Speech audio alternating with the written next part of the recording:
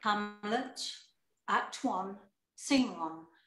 Enter Bernardo and Francisco, two sentinels. Who's there? Nay, answer me. Stand and unfold yourself. Long live the king. Bernardo, He, you come most carefully upon your hour. tis now struck 12. Get thee to bed, Francisco. For this relief, much thanks. Tis bitter cold, and I am sick at heart. Have you had quiet guard? Not a mouse stirring. Well, good night. If you do meet Horatio and Marcellus, the rivals of my watch, bid them make haste. Enter Horatio and Marcellus. I think I hear them. Stand ho! Who is there? Friends to this ground. And liegeman to the Dane. Give you good night. Oh, farewell, honest. Who hath relieved you? Bernardo has my place. Give you good night. Francisco exits. Hello, Bernardo. Say, what? Is Horatio there? A piece of him. Welcome, Horatio. Welcome, good Marcellus. What? Has this thing appeared again tonight? I have seen nothing. Horatio says tis but our fantasy. I will not let belief take hold of him, touching this dreadful sight twice seen of us. Therefore I have entreated him along with us to watch the minutes of this night, that if again this apparition come, he may approve our eyes and speak to it. Tush, tush, twill not appear. Sit down a while, and let us once again assail your ears that are so fortified against our story, what we have two nights seen. Well, sit we down, and let us hear Bernardo speak of this. Last night of all, when yon same star that's westward from the pole had made his course to illumine that part of heaven where now it burns, Marcellus and myself, the bell then beating one, Is it not like the king? Peace, break off. Hang on. in the same figure like the king that's dead. I have a problem. They've given me the pages in the wrong order. It's not right. Yeah, I, I jumped ahead. Peace, break the off. Okay. Question it, Horatio. No. Yes. All right, I've got it. Okay, enter ghost. Peace, break the off. Look where it comes again. in the same figure like the king that's dead. Thou art a scholar. Speak to it, Horatio. Looks he not like the king? Mark it, Horatio. Most like. It harrows me with fear and wonder. It would be spoke to. Question it, Horatio. What art thou that usurpest this time of night, together with that fair and warlike form in which the majesty of buried Denmark did sometimes march? By heaven, I charge thee, speak. It is offended. See, it stalks away. Stay, speak, speak, I charge thee, speak. Ghost exits. Tis gone. Will not answer. How now, Horatio? You tremble and look pale. Is not this something more than fantasy? What think you on't? Before my God, I might not this believe without the sensible and true avouch of mine true of mine own eyes, Is it not like the king? as thou art to thyself. Such was the very armor he had on when he when he, the ambitious Norway, combated. So frowned he once, when in an angry parle he smote the sledded Polacks on the ice. Tis strange. Thus twice before. And jump at this dread hour. With martial stalk hath he gone by our watch. In what particular, particular thought to work, I know not, but in the gross and scope of mine opinion, this bodes some strange eruption to our state. Good now, sit down and tell me that what he knows. Why, the same strict and most observant watch so nightly toils the subject of the land. And why such daily cast of brazen cannon and foreign mart for implements of war? Why such impressive shipwrights, whose sore task does not divide the Sunday from the week? What might be toward that this sweaty haste doth make the night joint labourer with the day? Who is't that canst inform me? That can I. At least the whisper goes so. Our last king, whose image even but now appeared to us, was, as you know, by Fortinbras of Norway, thereto pricked on by a most emulate pride, dared to the combat, in which our valiant Hamlet, far for so to this side of our known world esteemed him, did slay this Fortinbras, who by a sealed compact, well ratified by law and heraldry, did forfeit with his life all those his lands which he stood seized of to the conqueror against against which a moiety competent was gauged by our king, which had returned to the inheritance of Fortinbras, had he been vanquisher, as by the same comart and carriage of the article designed. His fell to Hamlet. Now, Sir young Fortinbras, of unimproved metal, hot and full, hath in the skirts of Norway here and there sharked up a list of lawless resolutes for food and diet to some enterprise that hath a stomach in it, which is no other as, as it doth well appear unto our state, but to recover of us by strong hand and terms compulsatory those foresaid lands so by his father lost. And this, I take it, is the main motive of our preparations, the source of this our watch, and the chief head of this post haste and rummage in the land. I think it be no other, but e'en so. Well may it sort that this portentous figure comes armed through our watch, so like the king that was and is the question of these wars. The mote it is to trouble the mind's eye in the most high and palmy state of Rome, a little ere the mightiest Julius fell the graves stood tenantless, and the sheeted dead did squeak and gibber in the Roman streets, as stars with trains of fire and dews of blood, disasters in the sun, and the moist star upon whose influence Neptune's empire stands was sick almost to doomsday with eclipse, and even the like precurse of feared events as harbingers preceding still the fates and prologue to the omen coming on have heaven and earth together demonstrated unto our climatures and countrymen. Enter ghost. But soft, behold, lo, where it comes again. I'll cross it, though it blast me. Stay, illusion. It spreads its, his arms. If thou hast any sound or use of voice, speak to me. If there be any good thing to be done that may to thee do ease and grace to me, speak to me. If thou art privy to thy country's fate, which happily foreknowing may avoid, oh, speak. Or if thou hast abhorred in thy life extorted treasures in the womb of earth, for which they say you spirits oft walk in death, speak of it Stay and speak. Stop it, Marcellus.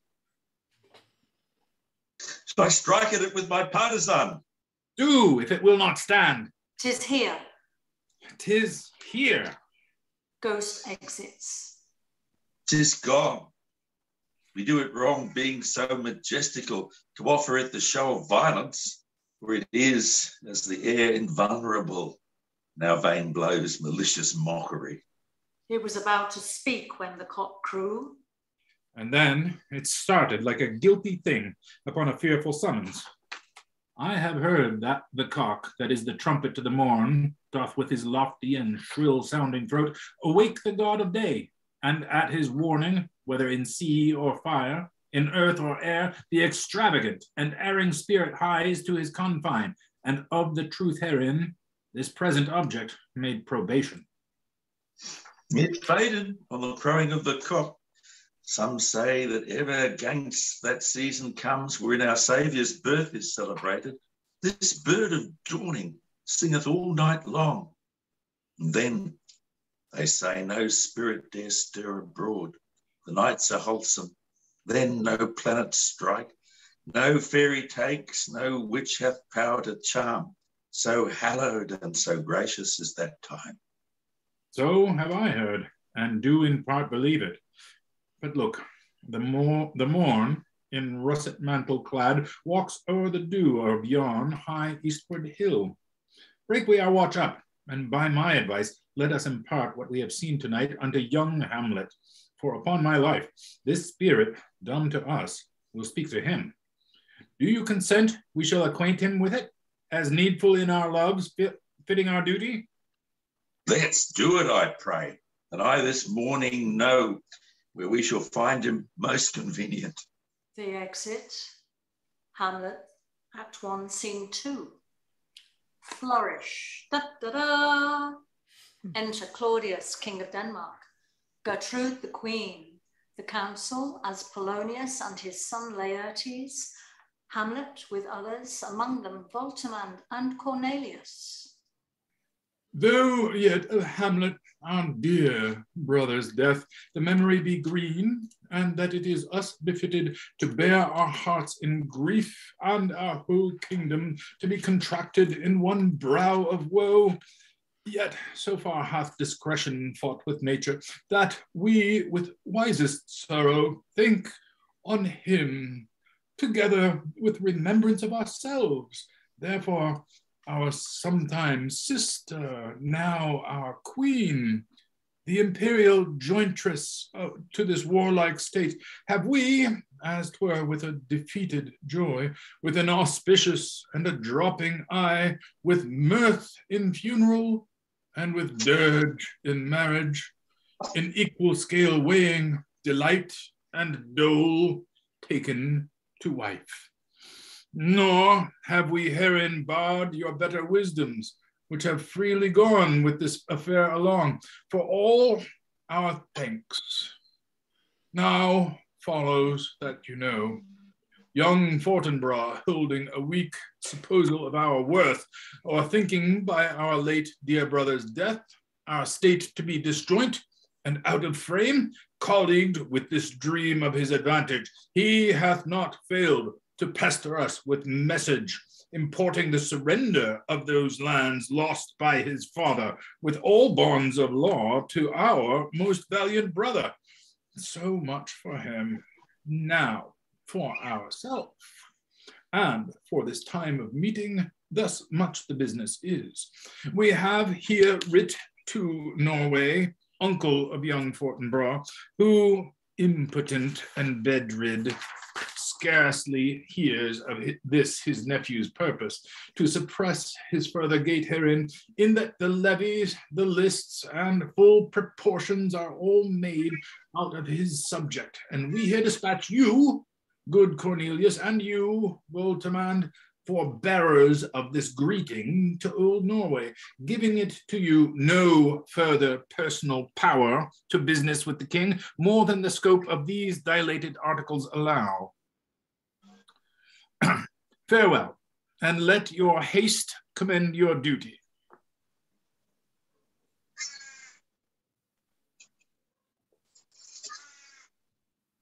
Who are they? In that and all things we'll we show our duty. We doubted nothing. Heartily farewell. Rosamund and Cornelius exit. And now, Laertes, what's the news with you? You told us of some suit. What is it, Laertes? You cannot speak of reason to the Dane and lose your voice. What wouldst thou beg, Laertes? That, that, that shall not be my offer, not thy, that shall not be my offer, not thy asking. The head is not more native to the heart, the hand more instrumental to the mouth, than is the throne of Denmark to thy father. What wouldst thou have, Laertes? My dread lord, your leave and favor to return to France, from whence thou willingly I from whence though though willingly I came to Denmark to show my duty to your coronation, yet now I must confess that duty done, my thoughts and wishes bend again toward France, and bow them to your gracious leave and pardon. Have you your father's leave? What says Polonius? Hath my lord wrung from me my slow leave by labours and petition, and at last upon his will I sealed my heart consent. I do beseech you, give him leave to go. Take thy fair hour, Laertes. Time be thine, and thy best graces spend it as they will. But now, my cousin Hamlet and my son. A little more than kin and less than kind. How is it that the clouds still hang on you? Not so, my lord. I am too much in the sun. Good Hamlet, cast thy nighted colour off, and let thine eye look like a friend on Denmark. Do not forever with thy veiled lids seek for thy noble father in the dust. Thou know'st 'tis common that all lives must die, passing through nature to eternity. Ay, madam, it is common. If it be, why seems it so particular with thee? Seems, madam? Nay, it is. I know not seems. 'Tis not alone my inky cloak, good mother, nor customary suits of solemn black, nor windy suspiration of force of breath, no, nor the fruitful river in the eye, nor the dejected haviour of the visage, together with all forms, moods, shapes of grief that can denote me truly. These indeed seem, for they are actions that a man might play. But I have that within which passeth show, these but the trappings and the suits of woe. 'Tis sweet and commendable in your nature, Hamlet, to give these mourning duties to your father. But you must know your father lost a father. That father lost, lost his, and the survivor bound in filial obligation for some term to do obsequ- obsequious sorrow, but to persevere in obstinate condolement is a course of impious stubbornness. Tis unmanly grief. It shows a will most incorrect to heaven, a heart unfortified, a mind impatient, an understanding simple and unschooled. For what we know must be and is as common as any the most vulgar thing to sense. Why should we, in our peevish opposition, take it to heart? Five, 'tis a fault to heaven a fault against the dead, a fault to nature, mm, to reason most absurd, whose common theme is death of fathers, and who still hath cried, From the first course till he that died today. This must be so. We pray you, throw to earth this unprevailing woe, and think of us as of a father. For let the world take note, you are the most immediate to our throne, and with no less nobility of love than that which dearest father bears his son, do I impart toward you. For your intent in going back to school in Wittenberg, it is most retrograde to our desire, and we beseech you, bend you to remain here in the cheer and comfort of our eye our chiefest courtier, cousin, and our son. Let not thy mother lose her prayers, Hamlet. I pray thee, stay with us. Go not to Wittenberg. I shall, in all my best, obey you, madam. Why, tis a loving and fair reply.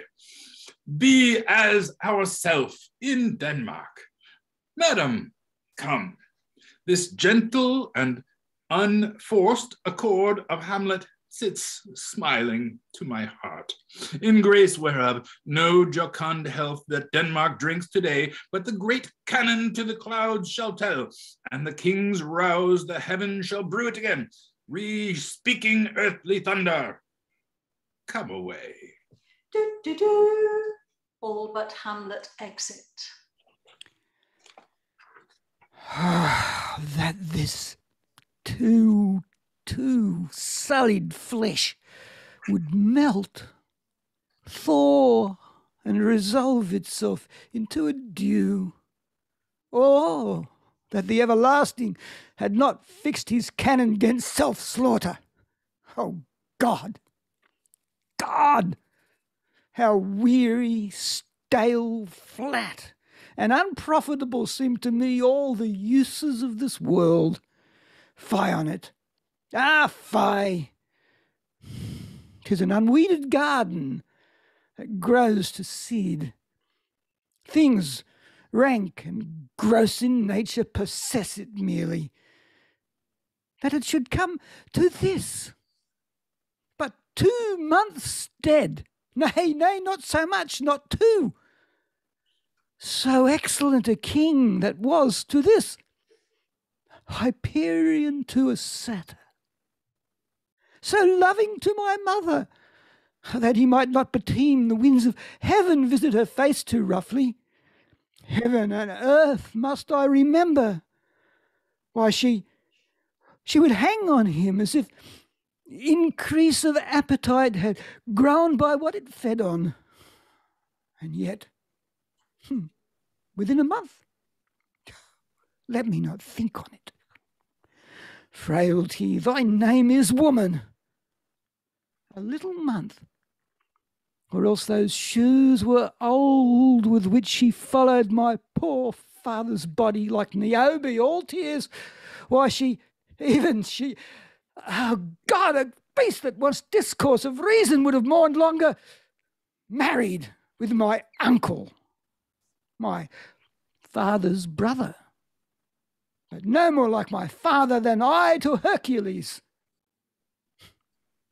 Within a month ere yet the salt of most unrighteous tears had left the flashing in her galled eyes, she married.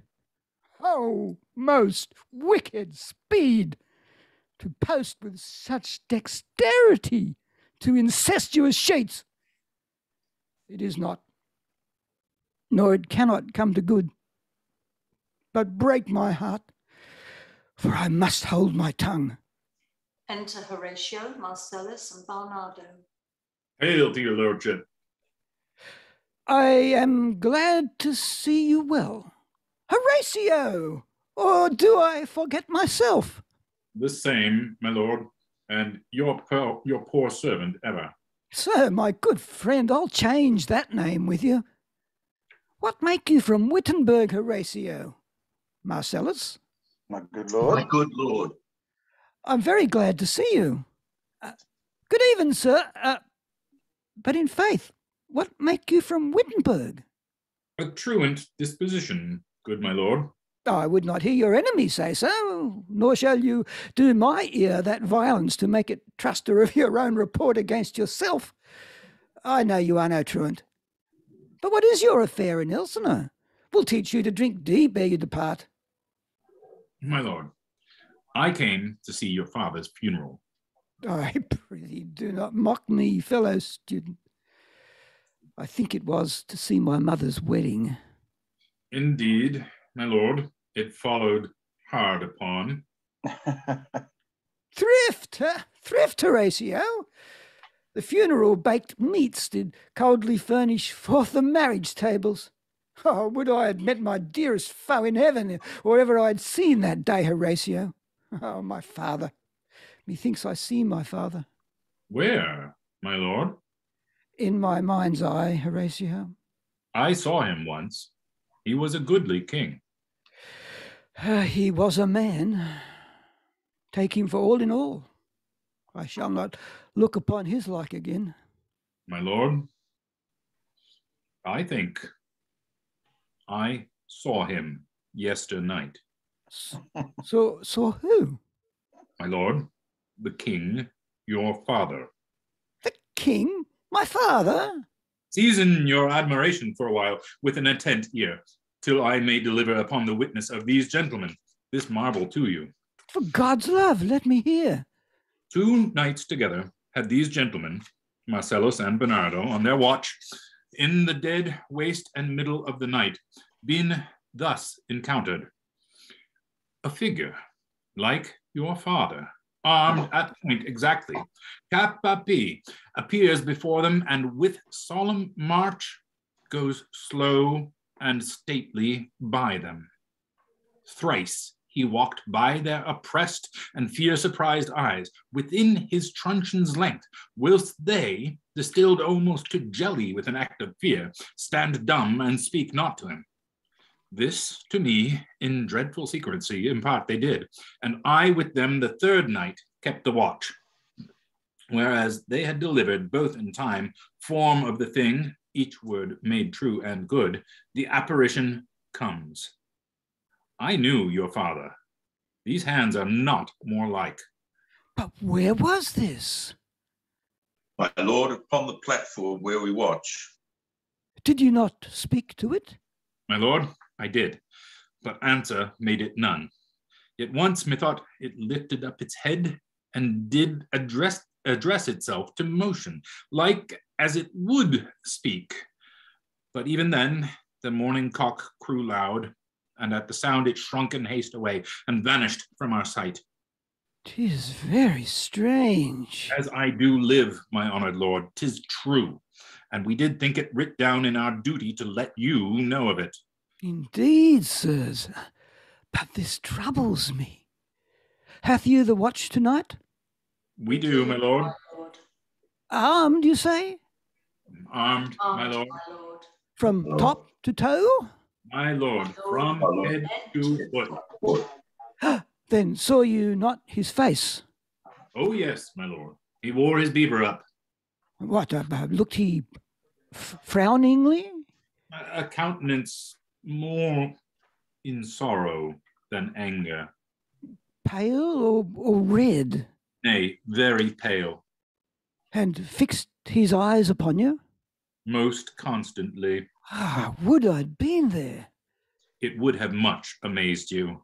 Very like. Stayed it long? While one with moderate haste might tell a hundred, Longer, longer. not when I thought. His beard uh, was grizzled, no? It was, as I have seen it in his life, a sable, silvered. I will watch tonight. Perchance 'twill come again. I warrant it will. If it assume my noble father's person, I'll speak to it, though hell itself should gape and hold me, bid me hold my peace. I pray you all, if you have hitherto concealed this sight, let it be tenable in your silence still. And whatsoever else shall hap tonight, give it an understanding, but no tongue. I will requite your loves. So, fare you well. Upon the platform, twixt eleven and twelve, I'll visit you. Our duty to your honor. Your honor. Your loves as mine to you. My father's spirit in arms. All is not well. I doubt some foul play. Would the night were come. Till then, sit still, my soul. Foul deeds will rise. Oh, all the world, all the earth o'erwhelm them to men's eyes. Scene three. Enter Laertes and Ophelia, his sister. My necessaries are embarked. Farewell. And, sister, as the winds give benefit and convey his assistant, uh, do not sleep, but let me hear from you.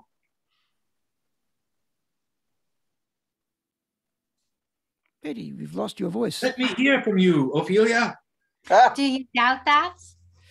I For hear you. Hamlet and the trifling of his favor, hold it a fashion and a toy in blood, a Don't violet in the youth of primy nature. Ah, forward, not permanent, sweet, not lasting. the perfume and suppliance of a minute, no more. No more, but so? Think it no more. For nature, crescent, does not grow alone, infuse and bulk, but as this temple waxes, the inward service of the mind and soul grows wide withal. Perhaps he loves you now, and now no soil nor coddle bo- doth besmirch the virtue of his will, but you must fear his greatness weighed, his will is not his own, for he himself is subject to his birth. He may not, as unvalued persons do, carve for himself, for on his choice depends the safety and the health of this whole state, and therefore must his choice be circumscribed unto the voice and yielding of that body whereof he is the head. Then, if he says he loves you, it fits your wisdom so far to believe it, as he in his particular act and place may give his saying deed, which is no further than the main voice of Denmark goes withal, then weigh what loss your honor may sustain, if with too credent ear you list his song, or lose your heart, or your chaste treasure open to his unmastered importunity. Fear it, Ophelia, fear it, my dear sister, and keep you in the rear of your affection, out of the shot and danger of desire. The chariest maid is prodigal enough if she unmask her beauty to the moon. Virtue itself escapes not calumnious strokes. The canker galls the infants of the spring too oft before their buttons be disclosed. and in the morn and liquid dew of youth, contagious blastments are most imminent. Be wary then. Be- best safety lies in fear. To itself rebels, though none else near. I shall the effect of this good lesson keep as watchman to my heart. But, good my brother, do not, as some ungracious pastors do, show me the steep and thorny way to heaven, whiles, like a puffed and reckless libertine, himself the primrose path of dalliance treads, and recks not his own reed. Oh, fear me not. Enter Polonius. I I stay too long, but here my father comes. A double blessing is a double grace. Occasion smiles upon a second leave. Yet, here, Laertes, aboard, aboard, for shame. The wind sits on the shoulder of your sail, and you are stayed for. There, I've with thee. And these few precepts in my memory, look thou character, give thy thoughts no tongue, nor any unportioned thought his act. Be thou familiar, but by no means vulgar. Hmm? Those friends thou hast, and their adoption try to grapple them unto thy soul in hoops of steel, but do not dull thy palm with entertainment of each new hatched, unfledged courage. Beware of entrance to a quarrel, but be in. It that the pose may beware of thee. Give every man thy ear, but few thy voice. Take each man's censure, but reserve thy judgment. Hmm? Costly thy habit, as thy purse can buy, but not expressed in uh, fancy. The rich, not gaudy, for uh, the apparel oft proclaims the man. And they in France of the best rank and station, uh, are of a most select and uh, generous chief in that. Uh, neither a borrower nor a lender be, for loan oft loses both itself and friend borrowing dull at the age of husbandry. This above all to thine own self be true. And it must follow as night of the day, thou canst not be able to false to any man. Farewell, my blessing season this in thee. hmm? Most humbly do I take my leave, my lord. Mm, the time invest you. Go, your servants tend. Farewell, Ophelia, and remember well what I have said to you. Tis in my memory locked, and you yourself shall keep the key of it. Farewell. Laertes exits. What is it, Ophelia, he hath said to you? So please you, something touching the Lord Hamlet. Marry well bethought, 'tis told he hath very oft of late given private time to you, and you yourself have of your audience been most free and bounteous. If it be so, as so it is put on me, and that in the way of caution, I must tell you, you do not understand yourself so clearly as it behooves my daughter and your honor. What is between you? Give me up the truth. He hath, my lord, of late made many tenders of his affection to me. Affection, put speak like a green girl, and sifted in such perilous circumstance. Do you believe his tenders, as you call them?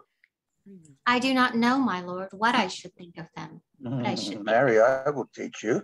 Think yourself a baby that you have ten such tenders of true pay, which are not sterling. Tender yourself more dearly.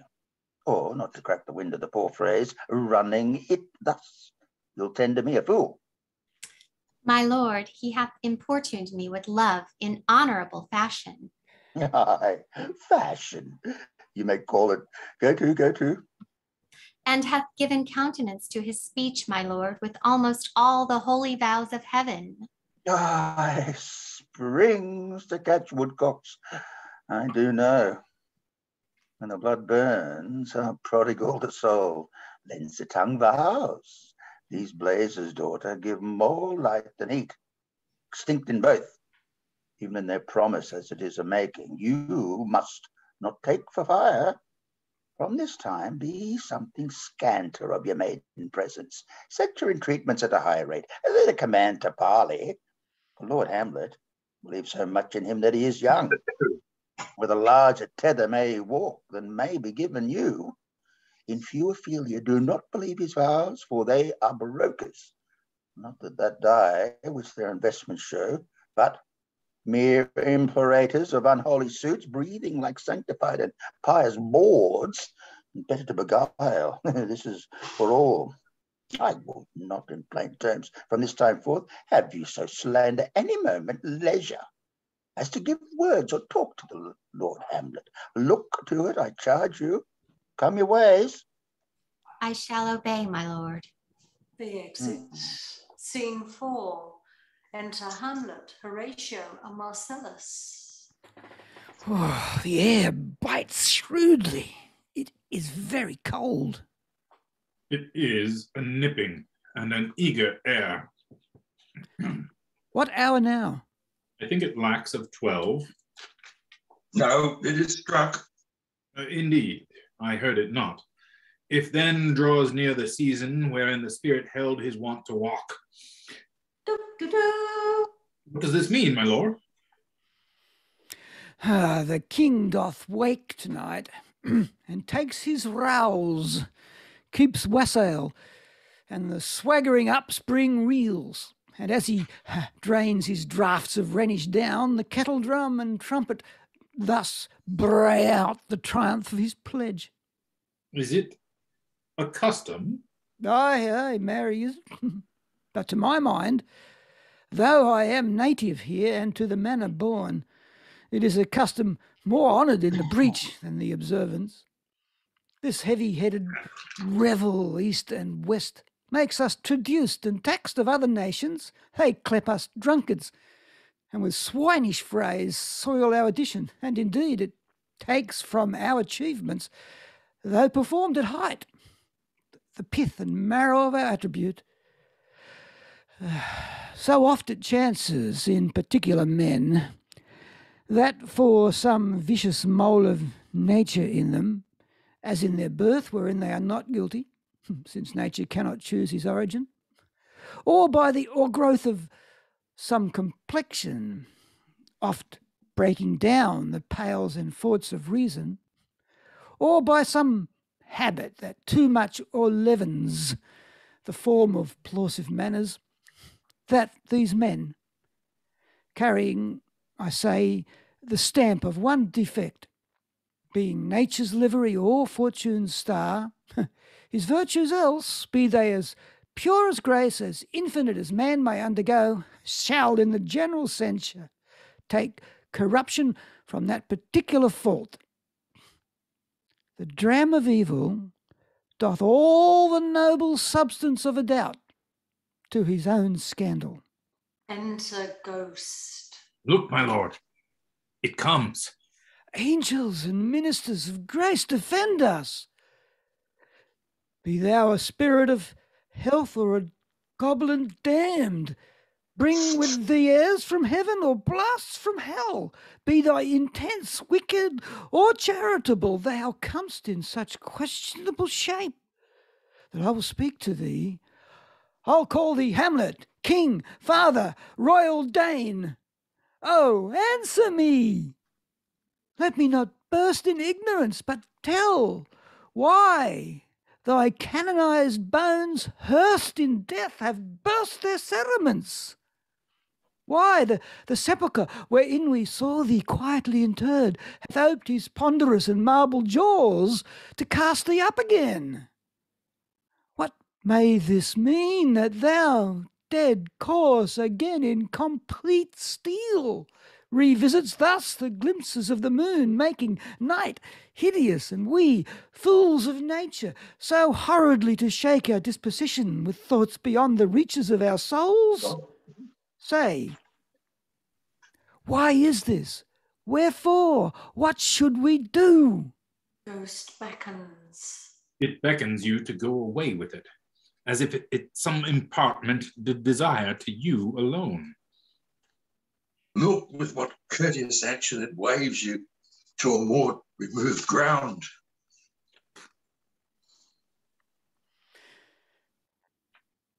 No, by no means should you go with it. It will not speak. Then I will follow it. Do not, my lord. Why, why, what should the fear? Ha, I do not set my life at a pin's fee, and for my soul, what can it do to that, being a thing immortal as itself? It waves me forth again, I'll follow it. What if it tempt you toward the flood, my lord, or to the dreadful summit of the cliff that beetles over his base into the sea, and there assume some other horrible form which might deprive you or your sovereignty of reason and draw you into madness? Think of it. The very place puts toys of desperation without more motive into every brain that looks like so many fathoms to the sea and hears it roar beneath. It waves me still. Go on, I'll follow thee. You shall not go, my lord. They Hold on my your hand. Be ruled, you shall not go. My fate cries out and makes each petty artery in this body as hardy as the Nemean lion's nerve. Still, I'm called. Unhand me, gentlemen. By heaven, I'll make a ghost of him that lets me. I say, away, away, go on. I'll follow thee. Ghost and Hamlet exit. He waxes desperate with imagination. Let's follow. Tis not fit thus to obey him. Have after. To what issue will this come? Something is rotten in the state of Denmark. Heaven will direct it. Nay, let's follow him. They exit. Scene five. Enter Ghost and Hamlet. Whither wilt thou lead me? Speak. I'll go no further. Mark me. I will. By hours almost come when I to sulphurous and tormenting flames must render up myself. Alas, poor ghost. Pity me not, but lend thy serious hearing to what I shall unfold. Speak. I am bound to hear. So art thou to revenge when thou shalt hear. What? I am thy father's spirit, doomed for a certain time to walk the night, and for day confined to fast in fires, till the foul crimes done in my days of nature are burned and purged away. But that I am forbid to tell the secrets of my prison house, I could a tale unfold whose lightest word would harrow up thy soul, freeze thy young blood, make thy two eyes like stars start from this ears, thy knotted and combined locks to part, and each particular hair to stand and end like quills upon the fretful porcupine. But this eternal blazon must not be to ears of flesh and blood. List, list, oh list, if ever thou didst thy dear father love. Oh God! Revenge this foul and most unnatural murder. Murder! Murder most foul as in the best it is. For this most foul, strange, and unnatural. Haste me to know it, that I with wings as swift as meditation or the thoughts of love may sweep to my revenge. I find thee apt, and duller should thou be than the fat weed that roots itself in the ease on Lethe Wharf. Wouldst thou not stir in this? Now, Hamlet, let hear. Tis given out that sleeping in my orchard a serpent stung me. So the whole ear of Denmark is by forged process of my death rankly abused. But now, thou noble youth, know thy noble youth, the serpent that did sting thy father's life, thou wears his crown. Oh, my prophetic soul, my uncle. Aye, that incestuous, that adulterate beast with witchcraft of his wits, with traitorous gifts of wicked wit, and gifts that have the power so to seduce. One to his shameful lust, the will of my most seeming virtuous queen. Oh, Hamlet, what a falling off was there. For me, whose love was that of dignity, that it went hand in hand, even with the vow I made to her in marriage, and to decline upon a wretch whose natural gifts were poor to those of mine. But virtue, as it never will be moved, who lewdness courted in a shape of heaven, so lust, through a radiant angel linked, will sate itself in a celestial bed and prey on. Garbage. But soft, methinks I scent the morning air. Brief let me be, sleeping within my orchard, my custom always of the afternoon. Upon my secure hour, thy uncle stole with juice of cursed Hebona in a vial, and in the pouches of mine ears did pour the leprous distilment. What effect holds such an amnesty with blood of man that swift as quicksilver. It courses through the natural gates and alleys of the body, and with a sudden vigor, it doth posset and curd like eager droppings into milk, the thin wholesome blood. So did it mine. Most instant, tetter barked about most lazarlike with violent, loathsome crust all my smooth body.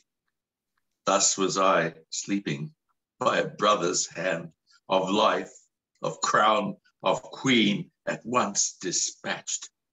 Cut off even the blossoms of my sin, unhoused, disappointed, unnailed, no reckoning made, but sent to my account with all the imperfections of my head. Oh, horrible, oh, horrible, most horrible. If thou hast nature in thee, hear me Hear it, bear it not. Let it not thy royal bed of Denmark be a couch for luxury and damned incest. But whomsoever thou pursuest in this act, taint not thy mind, nor let thy soul contrive upon thy mother, Lord. Leave her to heaven, and to those thorns that in her bosom lodge, to prick and sting her. Fare thee well at once. The glowworm shows the matin to be near, gins to pale his ineffectual fire. Adieu, adieu, adieu. Remember me. Ghost exits. Oh, you host of heaven! Oh, earth! What else? And shall I couple hell? Oh, fie! Hold, hold my heart, and you, my sinews, grow not instant old, but bear me stiffly up. Remember thee? Ay, thou poor ghost, while memory holds a seat in this distracted globe. Remember thee? Hey, yea, from the table of my memory I'll wipe away all trivial fond records, all source of books, all forms, all pressures past that youth and observation copied there. And thy commandment all alone shall live within the book and volume of my brain, unmixed with baser matter. Yes, by heaven, oh, most pernicious woman! Oh, villain! Villain! Smiling, damned villain! My tables, meet it is I set it down, that one may smile and smile and be a villain. At least, I am sure it may be so in Denmark. So, uncle, there you are. Now to my word. It is. Adieu. Adieu. Remember me. I have sworn it. Enter Horatio and Marcellus.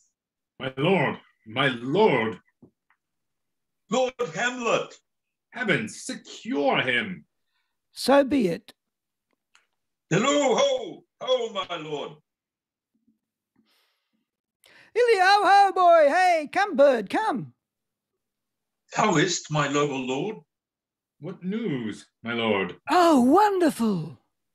Good, my lord. Tell it. Oh, no, you will reveal it. Not I, my lord, by heaven. Nor I, my lord. How say you then? Mm, Would heart of man once think it? But you'll be secret? Ay, by heaven, my lord. There's never a villain dwelling in all of Denmark, but he's an arrant knave. There needs no ghost, my lord, come from the grave to tell us this. Ri- right, you are in the right. And so, without more circumstance at all, I, I hold it fit that we shake hands and part. Uh, you, as your business and desire, shall point you, for every man hath business and desire, such as it is, uh, and I, uh, for my poor part, I will go to pray. These are but wild and whirling words, my lord. I, I am sorry they offend you. Heartily. Yes, faith, heartily. There's no offense, my lord. Yes, by St. Patrick. But there is Horatio, and much offence too. Touching this vision here, it is an honest ghost, that let me tell you. For your desire to know what is between us, or master it as you may. And now, good friends, as you are, friends, scholars and soldiers, give me one poor request. What is it, my lord? We will.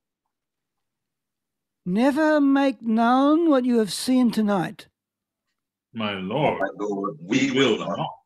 Nay, but swear it. In faith, my lord, not I. Nor I, my lord, in faith. Upon my sword. We have sworn, my lord, already. Indeed, upon my sword, indeed.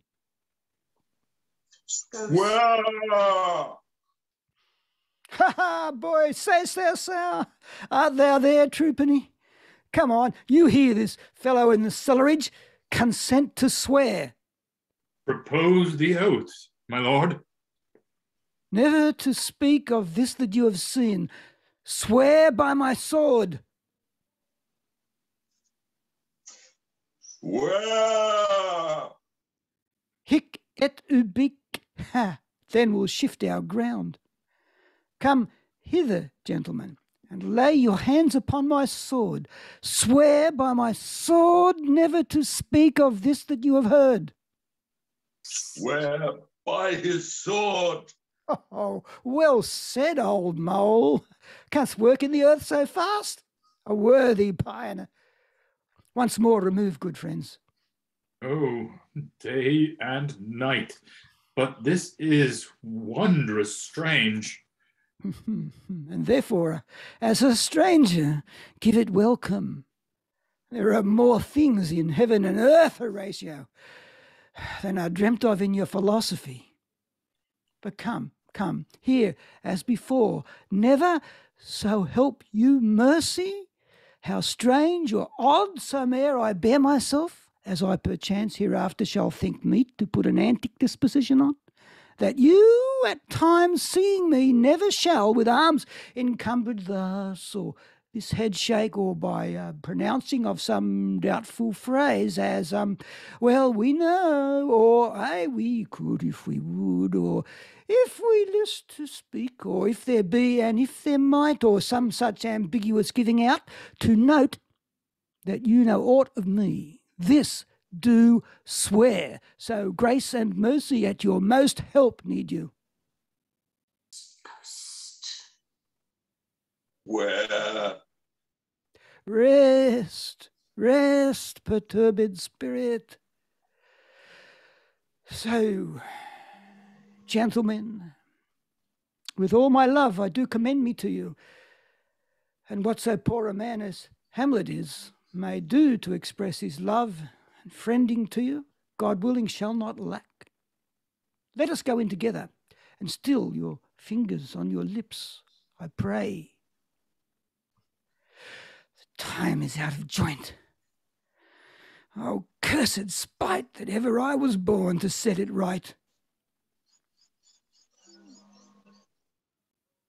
Nay, come, let's go together. Voila. End of Act One. Well, we got through that a little bit faster than I